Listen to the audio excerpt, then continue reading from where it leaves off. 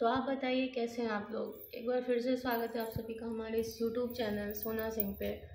Family का हालत कल तो बहुत मज़ाक मज़ाक में निकल गया था, जैसे ही बैठ के ओनली जस्ट कन्वर्सेशन चल रहा था। आप लोग देखे ही होंगे कल वाला वीडियो बाकी आज वाला वीडियो खास तो बिल्कुल ही नहीं है, जो भी है, सामने ही है, आपको देख ही रहे हैं।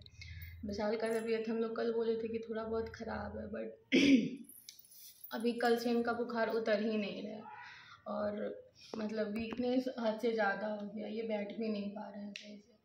और अभी शायद बारह समथिंग बज रहा है, अभी बारह एक बजने वाला है, लेकिन अभी नहीं खाना पीना कुछ नहीं हुआ है। ये उठ ही नहीं पा रहे हैं तो खाना पीना तो दूर का चीज़ है और ना सही से सो पा रहे हैं, ना उठ पा रहे हैं। मतलब अंदर में क्या वो तो वही समझ पा रहे हैं, झेल पा रहे हैं। बाकी चलिए अब इनसे बात करते हैं, हम शायद ज़्यादा नहीं बोल पाएँगे।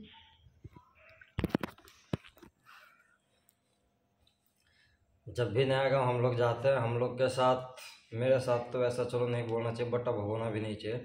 विशाल के साथ है कि नया गाँव जब भी जाएगा, इसका तबीयत ख़राब हो जा रहा है। और हम लोग हर बार बोलते हैं, लोग घर नहीं जाते हो, घर नहीं रहते हो। हम ये नहीं बोल कि फलाना चाची जो है, उनका नज़र ख़राब है या फलाना चाची है जो उनके वजह से कुछ होता है। बट नया गाँव हम लोग को नहीं इधर आ रहा है, नहीं हो पा रहा है, इसलिए हम लोग नहीं जाना चाह रहे अब विशाल पिछला बार भी गया था तो तबीयत ख़राब हो गया था। वो बात हम लोग किसी को नहीं बताएँ बट नॉर्मल था, दवा खाया, ठीक हो गया। इस बार बहुत ज़्यादा हो गया। मतलब नया गाँव से जैसे ही इधर आया, तबीयत इसका ख़राब होना शुरू हो गया। और अभी ऐसा हालत हो गया कि दिखवाने के लिए लेके जाना है तो बुखार उतरेगा, तभी तो हाजीपुर यहाँ से लेके जाए आदमी दिखवाए। तो जस्ट दवा खा के आराम कर रहा है। और मैं भी कि अगर ठीक हो जाए तो फिर थोड़ा बहुत मतलब अगर आराम हो जाए तो हाजीपुर ले जाके जस्ट चेकअप करवाना पड़ेगा कि क्या है, नहीं है। लेकिन अगर हमारे गाँव के वो लोग देख रहे हैं जो थोड़ा बहुत इस सब चीज़ में है, सो सिर्फ़ इतना ही बोलना चाहेंगे कि बस जितना आप लोग सोच रहे हैं तो ये सब चीज़ हम लोग पे करना बंद लेकिन तबीयत ऐसे जब नॉर्मल ख़राब हो जाता है ना तो कुछ नहीं वहाँ से आ रहे हैं, तभी हम लोगों का ऐसा चीज़ हो जा रहा है। तो फिर ऐसा करिएगा तो क्या हम लोग अपना घर द्वार छोड़ दें?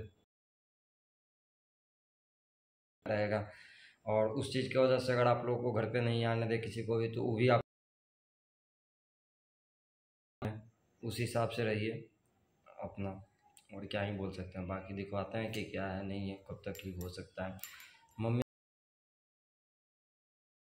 करने गई थी तो उनका हुआ जो भी हुआ बट हालत बहुत ही ज़्यादा ख़राब है और हम लोग को ज़्यादा अफसोस इसलिए हो रहा है बिकॉज़ विशाल को लेके गए थे तो हम लोग अपना ज़बरदस्ती पे लेके गए थे। बार वाला जो बात था वो बताया भी नहीं था कि पिछला बार जाने से इसका तबीयत में क्या हुआ था, नहीं हुआ था।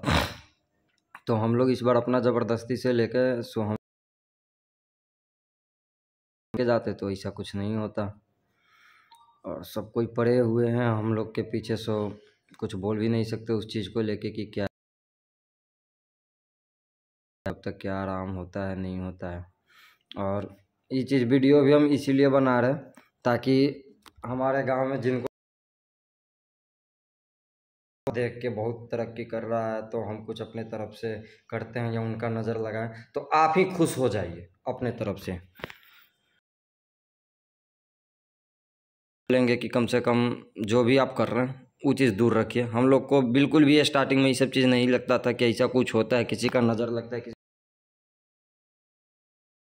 बैक टू बैक अगर ये चीज़ हो रहा है सो मानना पड़ता है आदमी को एक टाइम पे आके कुछ हो रहा है। और